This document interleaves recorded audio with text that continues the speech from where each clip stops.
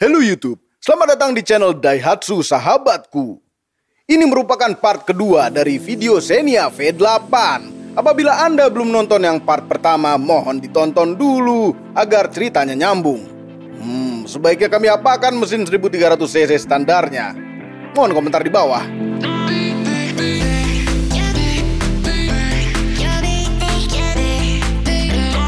Pada video ini kami menjelaskan proses pemasangan mesin dan pemasangan undercarriage baru yang sesuai dengan tenaga mesin V8. Diawali dengan melepas perintil-perintilan mesin.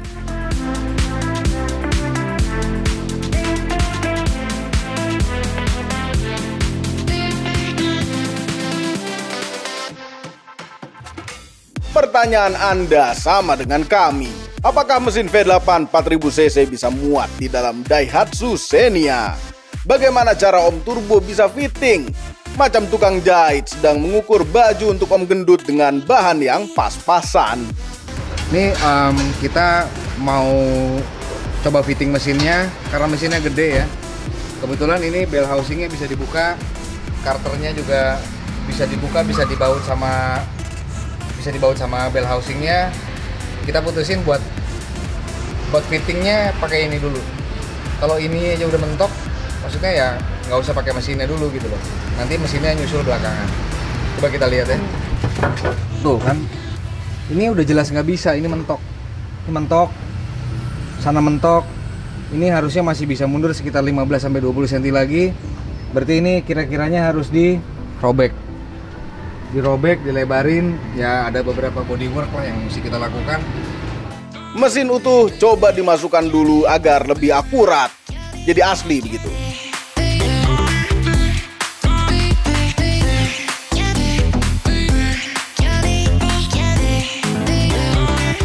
Bagian kosmetik-kosmetik dari interior harus dibongkar dulu. Namun, Om Turbo kesulitan membuka head unit dengan cara yang benar. Cara membuka head unit all new Avanza. Caranya sangat mudah, hanya tinggal pegang di atas tarik perlahan. Jangan lupa ditarik soketnya.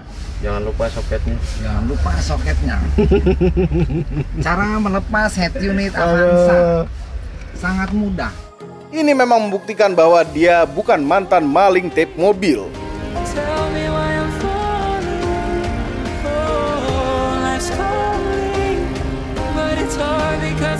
Yes, bagian firewall harus dipotong. Ini memang agak kurang pri kemobilan. Namun karena niat dan tekad yang besar berapi-api, ini memang harus dilakukan. Sebelum kami lanjutkan video ini, mohon hentikan sementara dan tekan tombol jempol ke atas. Subscribe channel Daihatsu sahabatku dan Motomobi berikut dengan tombol loncengnya agar dapat notifikasi apabila video part berikutnya keluar.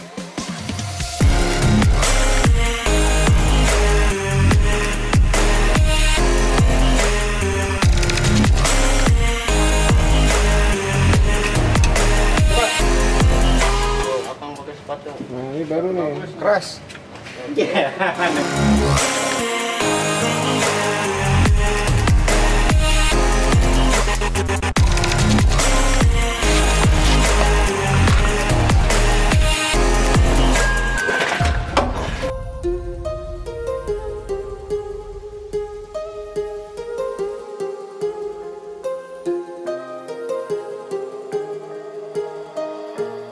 Setelah mesin dimasukkan, dilanjutkan memasang engine mounting. Namun bukan sekedar beli di toko kemudian dipasang. Engine mounting yang ini harus dibuat dulu bracketnya, khusus untuk Xenia V8 yang dikombinasikan dengan engine mounting mobil diesel. Agar mesin V8 punya kedudukan yang kokoh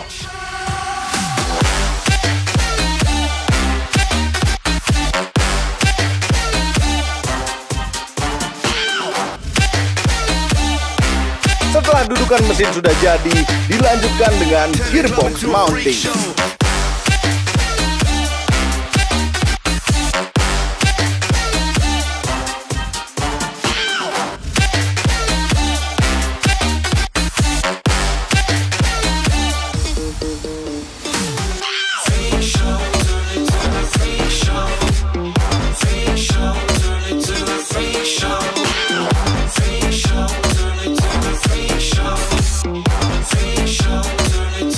Setelah urusan pemasangan mesin beres, berlanjut ke undercarriage.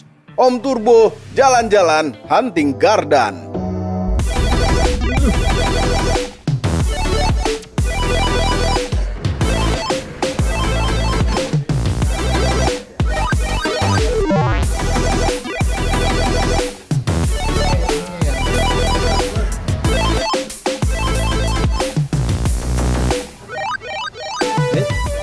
Uh, hasil perburuan kita kemarin uh, yang cukup memakan waktu karena ternyata ya agak susah ya nyari nyari gardan yang panjangnya sesuai, uh, terus uh, kekuatannya juga mumpuni. Akhirnya pilihan jatuh pada ini. Ini kita ambil dari Toyota Town Ace. Toyota Town Ace, terus udah gitu kita ganti diferensialnya dengan yang limited slip. Memang ini nggak seperti limited slip yang biasa orang-orang pakai di dunia racing ya, khususnya di, di drift atau di dunia off-road beda. Ini ini nggak sekejam itu kerjanya. Jadi ini model model spring dia, spring loaded, bukan yang model clutch. Ini bisa dilihat di sini. Kebetulan kita dapatnya yang buatan Amerika, made in USA. Ini dari sisi diferensialnya, kalau dari sisi es rodanya. Ini ukurannya kalau kita bandingkan dengan bawaannya Xenia ataupun Avanza itu jelas ini lebih gede. Panjangnya sesuai terus kondisinya juga relatif masih sangat bagus ya. Makanya jadi uh, pilihan jatuh kepada kombinasi ini. Ini dia proses pemasangan gardan. Di gardan itu ada dudukan swing arm dan link-link lainnya. Kami mengcopy dari gardan aslinya agar bisa terpasang.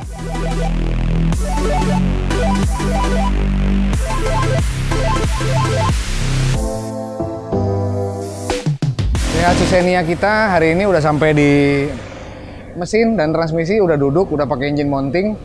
Uh, memang masih kasar, tapi uh, nanti kita rapin lagi. Cuman bentuknya akan seperti apa udah jadi. Nah sekarang kita pindah ke belakang, bagian belakang. Kita memang ada rencana untuk mengganti gardan dan gardan donornya juga udah ada. Itu aslinya. Jadi gardan yang sekarang ini kita mau bikinin kuping-kupingan, dudukan dudukan armnya ya. Kita copy dari gardan aslinya, kita buat serupa di sini.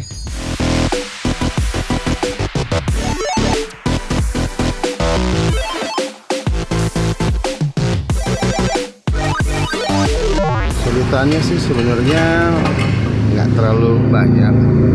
Cuman uh, menyesuaikan aja lebar asnya yang lama kan lebih lebar hmm. dibanding yang kita mau pasang sekarang.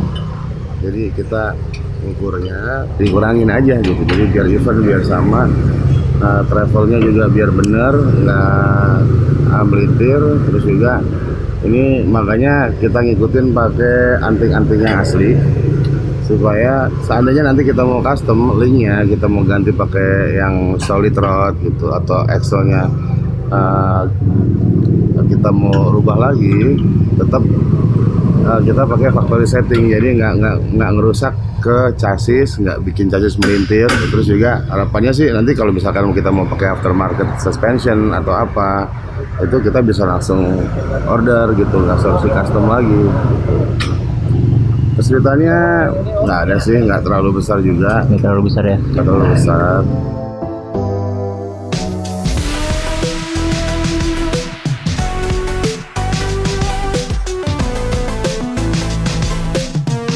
Oke, ini urusan gardan dan kaki-kaki sudah beres. Sekarang urusan kolong ini tinggal memasang shock breaker dan per. Ini agak menantang karena dudukan per aslinya sudah tiada. Itu akan ada di part ketiga. Yes, keseruan pada part ketiga juga termasuk pemasangan kabel-kabel dan menghidupkan mesin perdana. Gimana ini ngambil sini ini?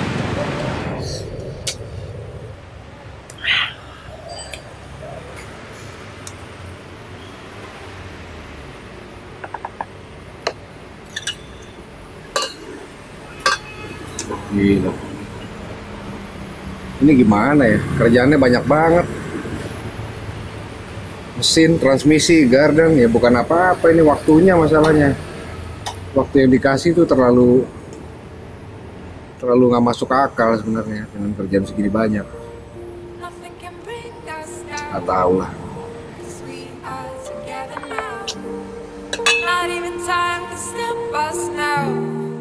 Cause we are forever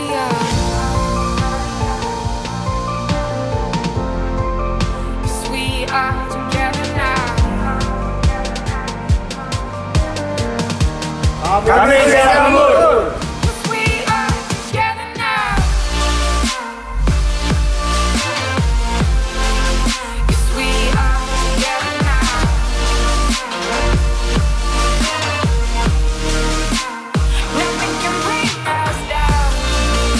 Yang berlembur siapa?